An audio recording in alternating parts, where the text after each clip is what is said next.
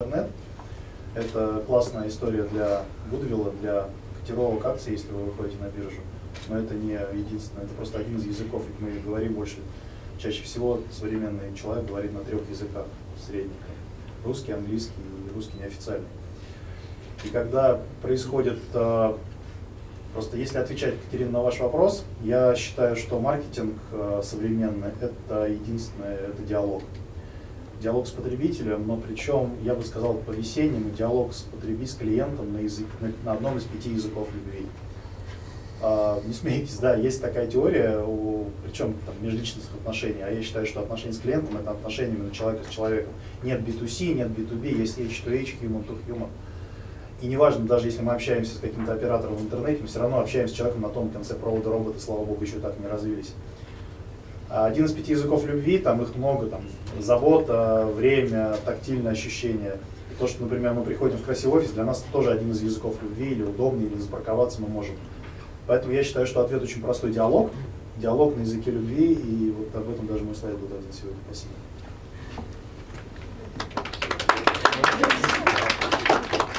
Ну, вы на самом деле а, по большей части поговорили о розничном клиенте. Да, мы привыкли об этом говорить, информация об этом сегменте больше традиционно.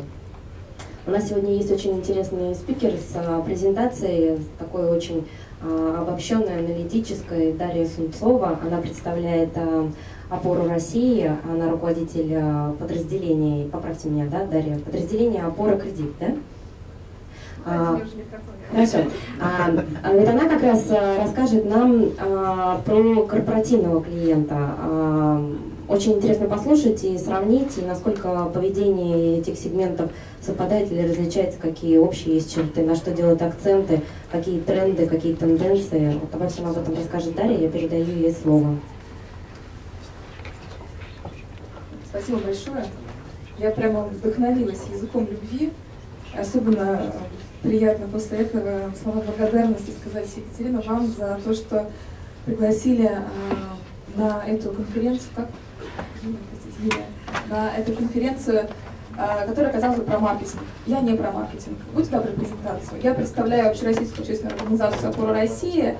Это 400 тысяч предпринимателей в 85 регионах страны и около 400 местных отделений. А, там вообще проблема с маркетингом финансовых услуг никогда не было и не стоит. Стоит только одна проблема, где взять денег. То есть для каждого из наших любимых предпринимателей, представителей малого бизнеса, вопрос финансирования, он как был на первом месте, так и остался, и по всем, по всем а, опросам и исследованиям а, пока в приоритете. Получается у нас? Сейчас, секундочку, да, Ну, хорошо. Я э, пока э, скажу, что абсолютно согласна с тем, что необходим диалог. И если мы говорим о развитии финансовых услуг в регионах, то э, именно диалог и личное общение оно помогает э, повысить тот уровень доверия, который сейчас является основным для представителей малого и среднего предпринимательства при выборе финансовых институтов, инструментов и услуг. И э, да, вот сегодня было безумно интересно слушать блиц-опрос э, экспертов по э, тому, что нас ждет в 2015 году. А, ну, настроение малого и среднего бизнеса, как вы, наверное, чувствуете по тем предприятиям, которым являетесь клиентами, оно немножечко другое. Немножечко другое, я бы даже сказала, противоположное – вот эти безумные ставки 25% плюс э, и полная невозможность э, получить кредит на каких-то адекватных условиях, они, конечно, крайне расстраивают. Э, и если бы вот сюда пригласили каких-то из наших предпринимателей, которые активно выступают на наших встречах банкиров и представителей бизнеса, то вот первое слово эмоции в названии вашей конференции, оно бы стало ключевым. Ну, действительно, такая ситуация непростая, а, но а, я а, хочу сказать, что это не единственный, не первый, не последний кризис в стране для малого и среднего предпринимательства. И можно даже так с некоторой поправкой сказать, что люди уже к этому привыкли, и так или иначе этот пройдет, период пройдет, но уже теперь на основании прошлого опыта мы можем делать какие-то прогнозы как себя вести в этот период, чего ждать в ближайшее время и как а, нам вместе максимально эффективно стабилизировать ситуацию. Да, еще один момент, который вот по, э, хотелось бы прокомментировать по итогам э, пленарной сессии, это то, то, то, что касается развития. Вот где взять э, потребителей, новых потребителей, клиентов э, в новом году и ну, в такой сложной экономической ситуации?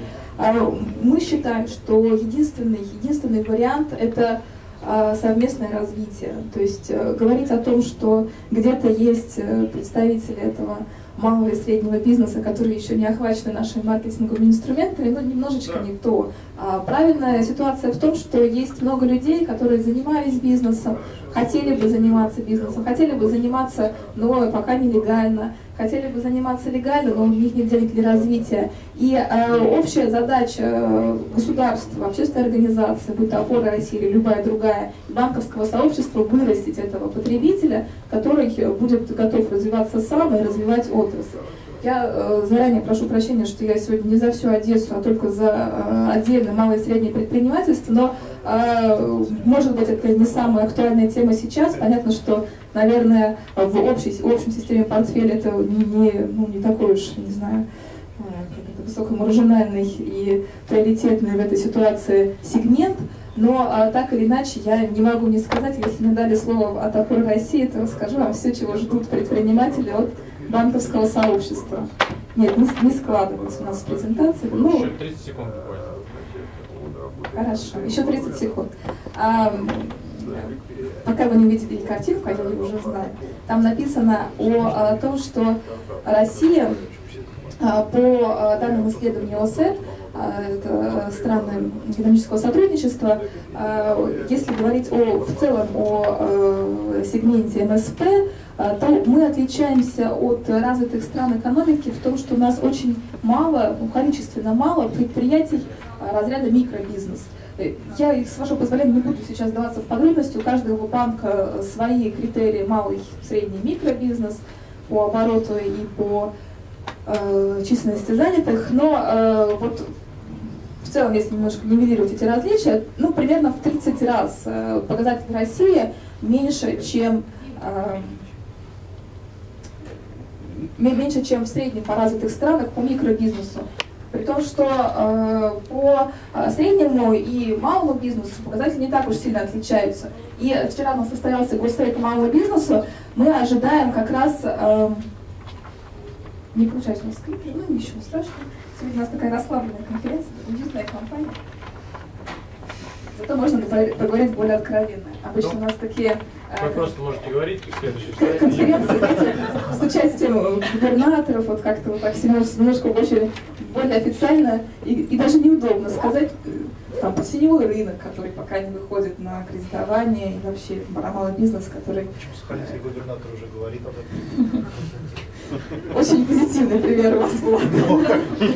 Его не пригласили. Вдохновляющий.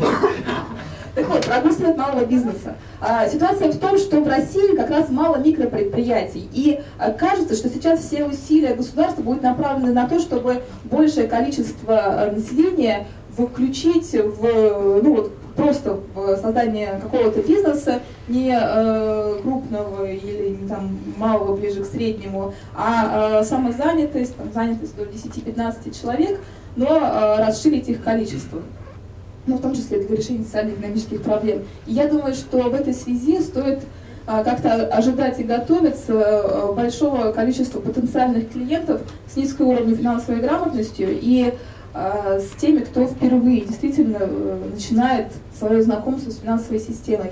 Следующий слайд покажите, пожалуйста, вот про нашу организацию «Опора России», которая создает 5 миллионов рабочих мест все время хочется, чтобы по этому поводу нам э, прислушивались к нам чуть более внимательно, чем это происходит.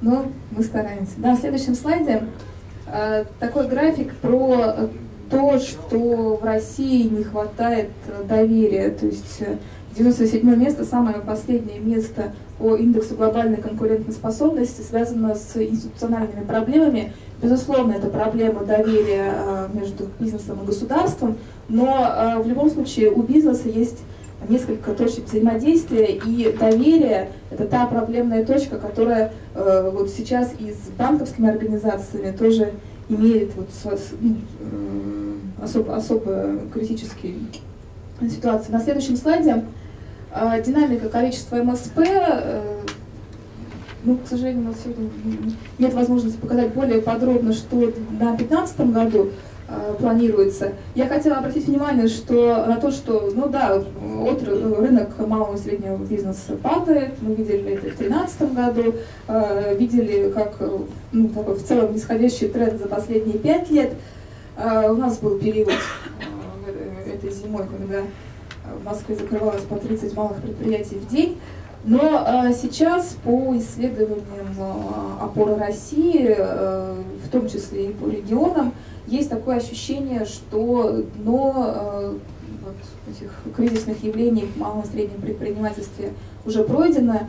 Это индекс BSBI, который делает Промсвязьбанк совместно с опорой России. Вот Оксана Романчук, э, представитель, наверное, сегодня расскажет более подробно. Мне кажется очень важным, когда банки действительно э, заинтересованы в развитии э, потребителей, в развитии клиентов, в развитии отрасли и в анализе ситуации, ну и поэтому опора России, конечно, поддерживает эту историю. Все наши члены стараются принимать участие. В общем, э, ожидаем некоторый рост по сравнению с предыдущим кварталом, в третьем квартале, как раз потому, что вот хуже уже некуда, дно пройдено. Э, но э, вот насколько это будет сравнимо с 2013 году, годом с падением после введения страховых взносов, пока трудно оценить. На следующем слайде так, еще немножечко, чтобы у нас были картинки.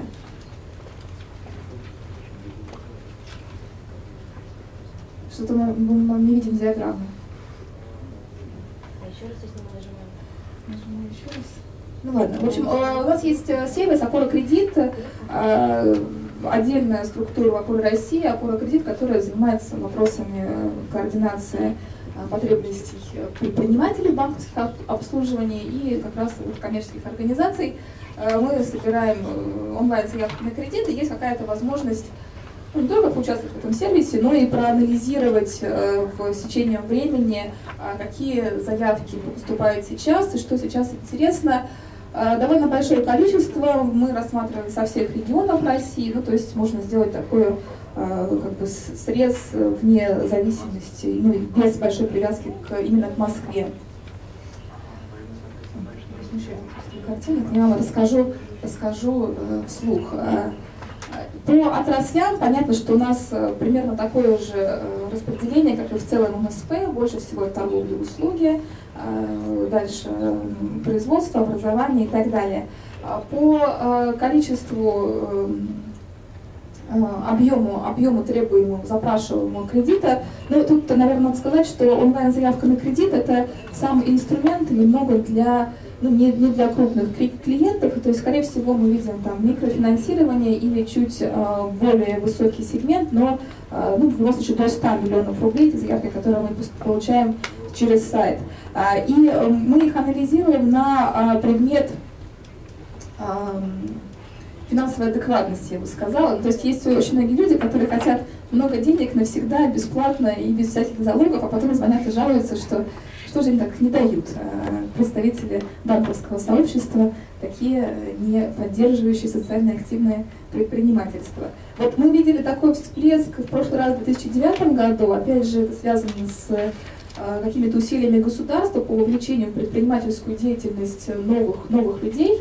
А, и видим это в последнее время, когда люди то ли от отчаяния, то ли от невозможности получения никаких других э, откликов от банков, конечно, сейчас очень такой резкий рост э, э, заявок на ну, неадекватных финансовых условиях, то есть вот люди хотят без залога и там вот какие-то небольшие проценты на большой период времени. А, но самое главное, что э, есть очень большой запрос и э, в целом спрос на кредитование. Э, то есть казалось бы, что рынок, рынок падает и малого бизнеса становится меньше, настроение у людей плохое, и ожидания тоже пока трудно прогнозируемые, и э, страх э, как у потребителя, так и у представителя МСП он присутствует, но запросов мы сейчас получаем намного больше, как раз потому что э, денег никто не дает, поэтому они дольше, дольше должны тратить много больше усилий на эту реализацию. А, и второй инструмент, который позволяет нам делать выводы о состоянии малого и среднего предпринимательства, это региональная форма «Бизнес-успех», которая а, объединяет э, сейчас уже там, несколько тысяч предпринимателей в разных регионах и включает в себя такие круглые столы по проблемным вопросам э, предпринимателей на местах. Я абсолютно согласна с коллегами по поводу эм, того, вот, кто может, ну и кто является тем финансовым консультантом на уровне региона, это точно не онлайн-система. И даже не потому, что у нас где-то плохо развит интернет, где-то наоборот э, хорошо развиты традиции личного общения, это как раз по э, тому слайду, который я показывала в начале, уровень, уровень доверия. Если мы выезжаем в регион, то э, ну, начинаем опрашивать наших э, представителей малого бизнеса, как вы выбираете свои банки, где вы будете обслуживаться. Вот чаще всего это личные связи, рекомендации, которые помогают э, повысить этот вот э, проблемный ну, вот решить проблему вопроса с уровнем доверия. И как раз на этих форумах мы э, можем понять настроение предпринимателей в отношении кредитования. Э, на втором месте это то, что денег не дают, это большая проблема, вызывает много эмоций. И так или иначе, здесь есть две стороны. С одной стороны, то, что действительно банки приостановили некоторые программы по кредитованию, а с другой стороны, то, что э, вот низкая финансовая грамотность э, представителей малого и среднего предпринимательства не позволяет э, делать такие заявки, которые бы соответствовали возможностям финансовых организаций. И третий вопрос, который сейчас кажется наиболее актуальным для представителей малого бизнеса, и он тоже вот сегодня обсуждался в начале, он связан с тем, что банки в принципе не настроены на ну и сейчас, и вообще не настроены на инвестиционное, инвестиционное финансирование, на а, кредиты под э, развитие, длинные деньги для там, модернизации, создания а, новых производств. В этом есть определенная логика, и мы знаем, что там какие-то как это принято говорить, развитые страны, а, и, и не рассчитывают на кредитование как на инвестиционные ресурсы. Они рассчитывают на фонды, на венчурное финансирование, на а, помощь друзей, коллег, знакомых и так далее. Ну и, в принципе, рынок инвестиций э, развит э, в России довольно, довольно слабо сейчас, как мы понимаем, мы все вместе просто размещаем деньги на депозитах Сбербанка, инвестируем только в Сбербанк, и то бесплатно.